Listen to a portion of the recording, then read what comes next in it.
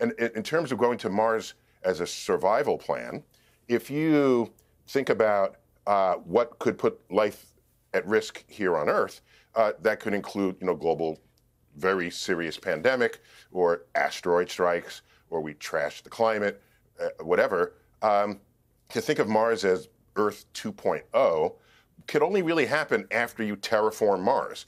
And the point I made, which was not in your clip, was if you have the power of geoengineering to terraform Mars, then you have the power of geoengineering to fix Earth and turn Earth back into Earth as opposed to Mars back into Earth. So just realistically, shipping a billion people to Mars or however many, um, I, by the way, I have nothing against that. I just don't see it happening based on my read of human behavior. So a lot to unpack there. Uh, look, I, you know I've got massive respect for you. I also have a lot of respect for Musk. I also like the fact that he dares to dream very big. And I actually had the the honour, actually, I would describe it, of spending a couple of hours with him down in France in the summer, where we got into the colonisation of Mars and why he felt so passionately about it.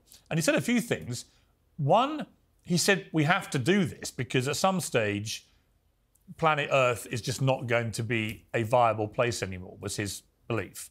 Secondly, that inevitably at some stage, planet Earth will be incinerated by the sun anyway. We don't know when that'll happen, but one day it will happen. I'll get your response we do. to that. We, we do know when it'll happen, but yeah.